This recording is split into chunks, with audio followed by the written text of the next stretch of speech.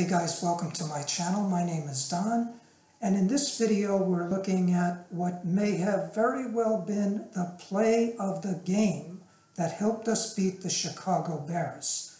And that's when our edge rusher, Jaelan Phillips, blocked that punt, and Andrew Van Ginkel then ran it in for a touchdown.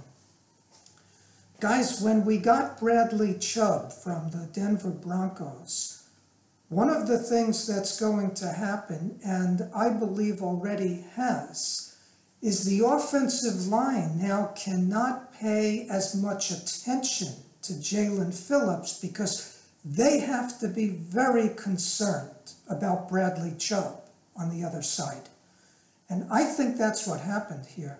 And, and I also think that I talked about this earlier when we first got Bradley Chubb, that he was going to stir up some of the other players like Jaelan Phillips.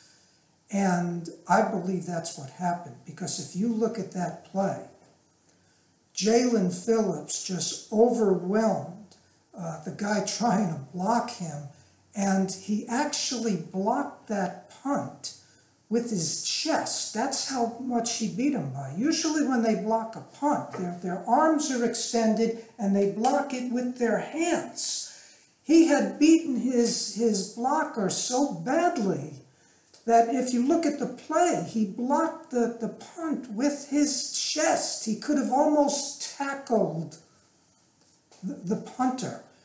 And, and guys, um, I'm going to be really focusing on, on Jaelan Phillips now because a couple of years ago when, when we drafted him in the first round, I believe a lot of the analysts had Jaelan um, uh, uh, pegged as, as the number one edge rusher in the college draft.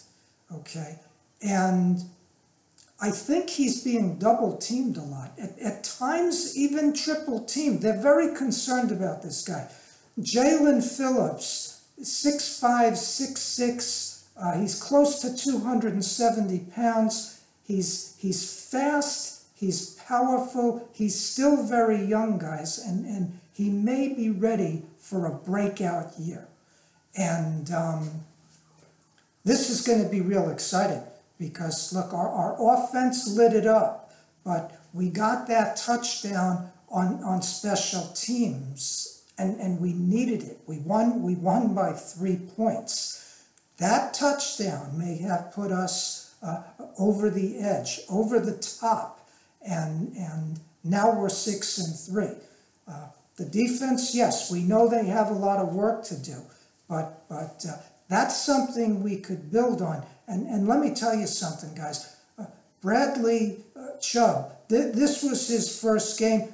Uh, he just missed a couple of sacks. He, he hurried the quarterback, he pressured the quarterback, and he, he's now been thrown in to the lion's den, so to speak, okay? He's in there now. Uh, and uh, he's going to get a full week of practice in with the Dolphins now and and we're going to see Bradley Chubb and and Jaelan Phillips. these guys, these guys are going to be like a pair of German shepherds on the end of the line. Okay, uh, I really think they're going to be disrupting things, and and you're going to see a turnaround with our defense. I I, I really believe that. Um, and one, one of uh, the viewers of, of my videos has pointed out too, we, we've got Dolphins that, that have been injured. They're going to be coming back. Uh, we've got Channing Tindall is, is, is going to start getting some playing time. Eventually, he's going to get the opportunity to contribute. And, and guys, um, I believe things are going to come together soon. If you enjoyed this video, I hope you click on the like icon and send me your comments. I want to hear from you guys. Subscribe to my channel and I'll see you next time.